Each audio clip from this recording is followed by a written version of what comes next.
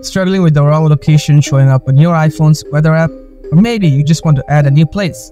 No worries, in this video, I'm going to guide you through the simple steps to update or change your location in the weather app. Let's get started. Solution 1. Add a new location. First, open the weather app, then tap the search icon located at the bottom right corner.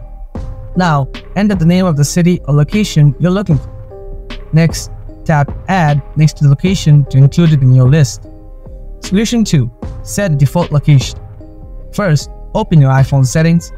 After that, scroll down and tap on the weather app. Now find and select location.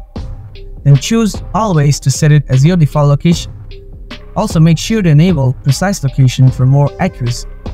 Solution 3. Update Location Services. Start by opening the Settings app, then tap on Privacy and Security. Now select Location Services. Make sure that location services are turned on. For that, scroll down and tap on the weather app. Next, choose either while using the app or always.